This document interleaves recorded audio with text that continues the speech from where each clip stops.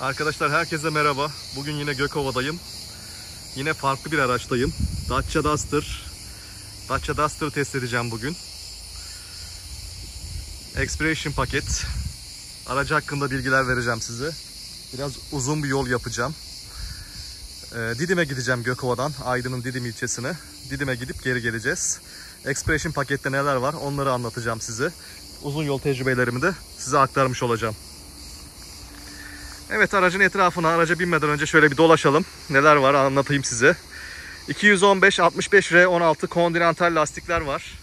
Ee, çelik jantla bezenmiş. Ön tarafta disk, arkada kampana var. Hemen şöyle yandan da çekelim aracı. Dacia Duster, Dacia'nın C segment SUV sınıfına girmekte arkadaşlar. Şöyle arkaya doğru dolaşalım. Continental Eco Contact altı lastiklerle gelmiş bu araç. Severim Continental'ı. Gayet sessiz, güzel, konforlu lastiklerdir. Bagaj hacmi gayet iyi. 460 litrelerde zannediyorsam. Açalım bakalım hemen. Şöyle elle açılan bir bagajı var. Çantam da içinde. Ve bir poşet var gördüğünüz gibi. İdeal yani yeterli sayılır. Güzel bir bagajı var. Elle kapanıyor. Hemen şöyle yandan geçelim. Ön koltuğu bana göre ayarladım. Arkasına oturalım. Arkadan başlayalım. Böyle göstereyim. 4 santim yani 4 parmaklık bir boşluk var. 5-6 santim. Yan taraf bu şekilde. Koltuklarımız bu şekilde. Ortada kol dayama yok. Herhangi bir kol, herhangi bir kol dayama bulunmuyor. Ee, yukarıda aydınlatmalarımız yok.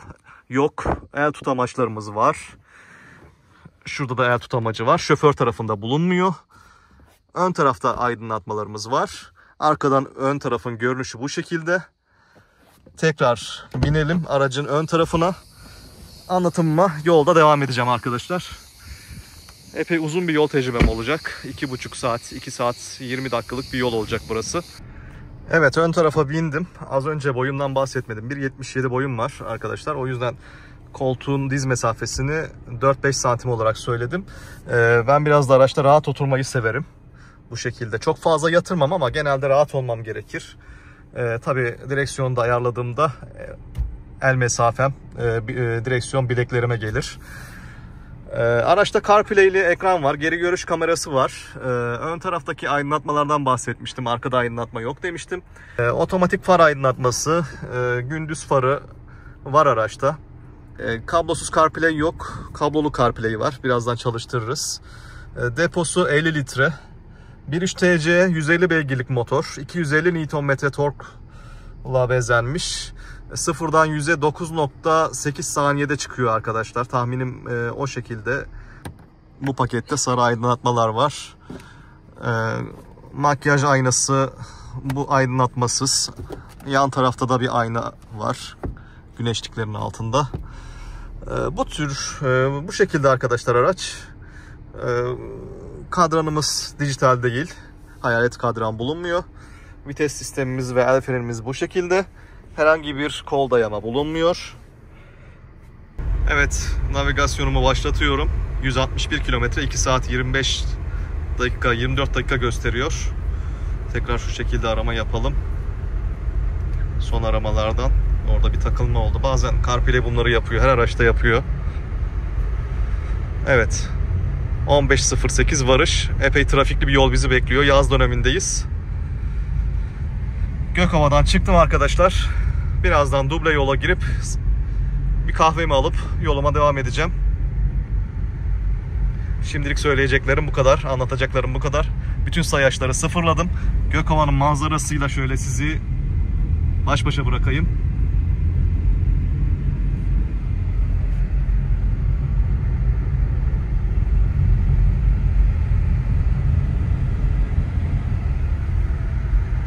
Amcamız da arabanın üzerine çıkmış. Kasanın üzerine. Ne kadar tehlikeli. Evet meşhur Gökova 4 yol kavşağı doğru gelirken müthiş bir trafik var. Görüyorsunuz. 2 dakikadır ilerleyemiyoruz. Sürekli dur kalk. Yaz döneminde buralar böyle oluyor maalesef. Herkes tercih ediyor. Turizm sezonu olduğu için özellikle hafta sonları çok yoğunluk oluyor. Az önce teknik değerlere baktım arkadaşlar. 9.7 saniye 0 yüzü. 1700 devirde veriyor. En yüksek torku gayet güzel. E, düşük devirlerde güzel tork veriyor araç. 6 ileri EDC şanzımanla bezenmiş. Vites geçişleri bir DSG kadar e, hızlı olmasa da seri arkadaşlar. Bunu anladım. Torku çok iyi. Aracın ağırlığı 1380 kilogram. Aracı çok iyi götürüyor bu 150 beygir. Bunu anladım az önce. 9.7 saniyeyi gerçekten hissediyorsunuz yani. 4x2 bu arada önden çekişli. 4x4 versiyonu değil bu araba. Birazdan bir mola vereceğim şurada. Hemen yolculuğumun başında suyumu, kahvemi depolayayım. Ondan sonra Didim'e kadar durmayı düşünmüyorum. Evet, meşhur Sakarya yokuşunu çıkıyorum. Arkadaşlar, Golf'te de çok çekimlerim vardı burada. 1.3 TC motorun performansını beğeniyorum. Güzel gidiyor.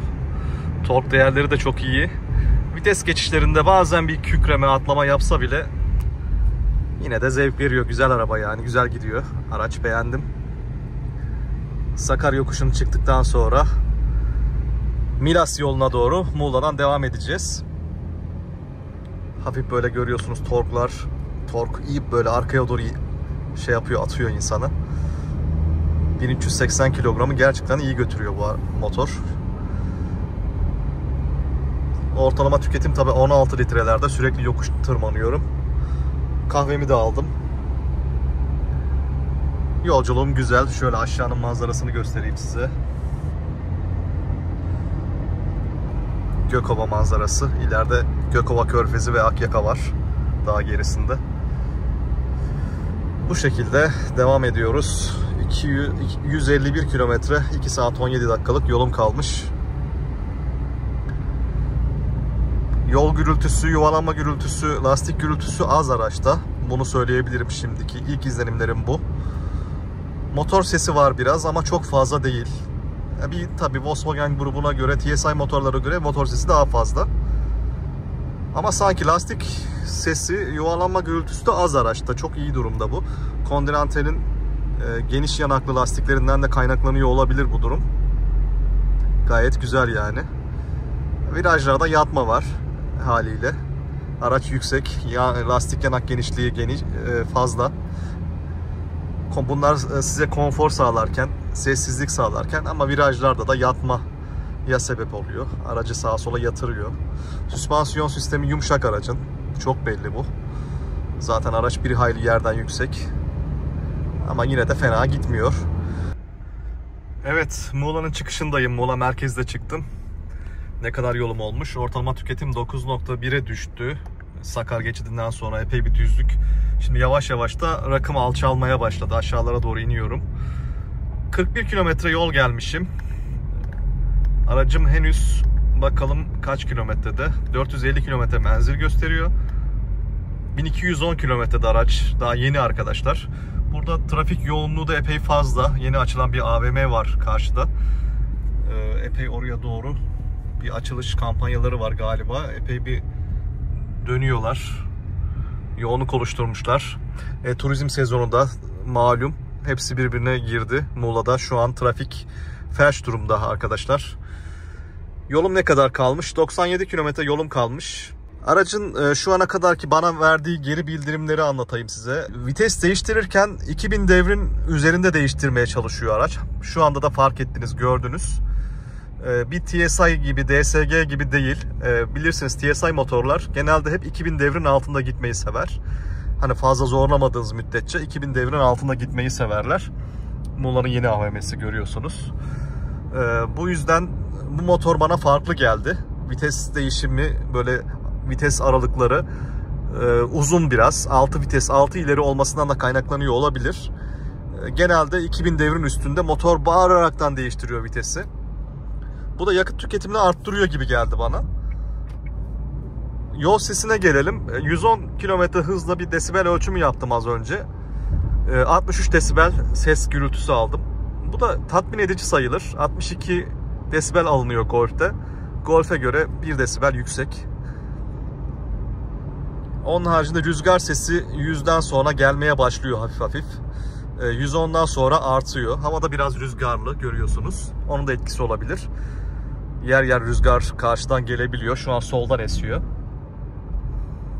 Ancak yani 110-120'den sonra epey rüzgar sesi var araçta. Bir Golf'e göre kıyaslarsanız. Ee, araçta beğenmediğim nokta şu bölümlerin de sert plastik olması. Bir C segment SUV olduğu için buralarında yumuşak e, olmasını beklerdim. Hadi şuralar sert ancak şuraları bir yumuşak olmasını en azından daha farklı dizayna sahip olmasını beklerdim. Anlatacaklarım bu yönde. İlerleyen zamanda tekrar anlatacağım size arkadaşlar yol üzerinde. Tecrübe edindikçe geri bildirimde bulunacağım. Araç hakkında bilgilendirme yapacağım. Manzarayı izleye izleye devam ediyorum. Yatağına girdim. Az önce Aydın yolundan Milas tarafına doğru dönüş yaptım. Bodrum yoluna girdim. Muğla Bodrum yolu arkadaşlar. Yatağındaki termik santralin görüyorsunuz dumanlarını. Ne kadar olmuş? Ortalama tüketim 8.6. 84 kilometre yolum kalmış. Trafik bir nebze olsun azaldı burada. Biraz rahatladım. Görüyorsunuz vites değişimlerini. Şöyle bir sessiz olayım biraz. Dinleyin aracı.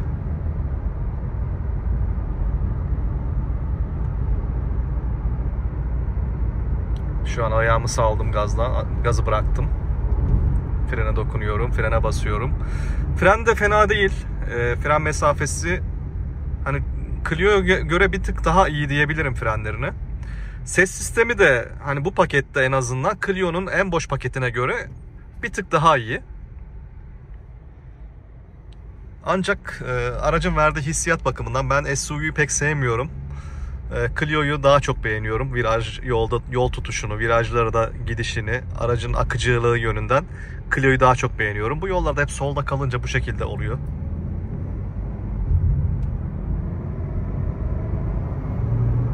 Bir TC'nin sesi. Biraz basınca gidiveriyor. Devam ediyorum. Birazdan Bodrum tarafına doğru, daha doğrusu Milas'a doğru çekim daha yaparım. Evet hız sabitleme var araçta. Onu açtım şu an. 110 kilometre saatte hıza sabitledim aracı. Araçta bu arada dikkatimi çekti. Karartmalı dikiz aynası yok. Manuel. Eski sistem. Şimdi hız sabitlemeyi iptal ettim. Virajlı kesimlerde hız sabitlemeyi sevmiyorum. Aracın kontrolüm kendimde olmasını daha çok benimsiyorum arkadaşlar. Milas'a doğru geliyoruz. Yatağını geçtim. Buraların manzarası da zeytin ve çam ağaçları karışımıyla bezenmiş durumda bitki örtüsü. Manzaralar güzel. Ege bölgesini seviyorum. Zeytin, çam, incir, kestane ağaçları yer yer yaylalarında bulunabiliyor. Ortalama tüketim 8.8. 68 kilometre yolum kaldı. Araç hakkındaki hissiyatlarım aynı değişmedi. Yüksek SUV. E, fiyat performans aracı. Motoru güzel. Aracın motoru en çok beğendiğim yönü motoru. Güzel götürüyor arabayı. 150 beygir. E, şanzıman birazcık yavaş olsa da fena değil. Güzel şanzımandır EDC. Bir DSG hissiyatını vermese de iyi yani. Az önce de söyledim. Rüzgar sesi ve yol sesi durumlarını anlattım. Bundan önceki süreçte videomda biliyorsunuz. Şu an manzaranın ve yolun keyfini çıkartmaya çalışıyorum arkadaşlar. Gayet güzel gidiyor. Herhangi bir şerit takip, acil frenleme sistemi yok araçta.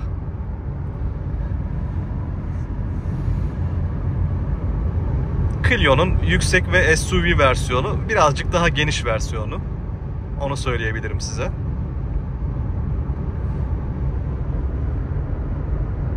Şöyle arkaya doğru göstereyim koltukları.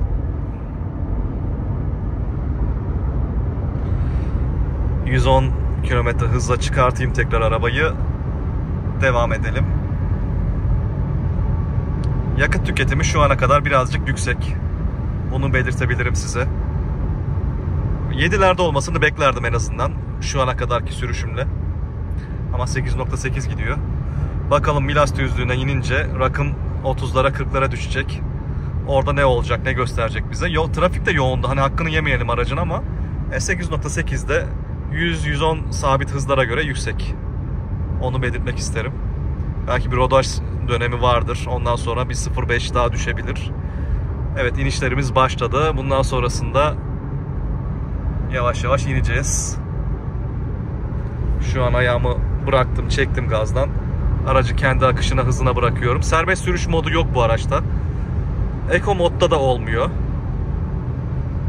Evet rüzgar sesini duyuyorsunuz. Şu an havada öyle aşırı bir rüzgar da yok. Ağaçlara izleteyim size. Biraz siz dinleyin aracı. Yol sıcak asfalt.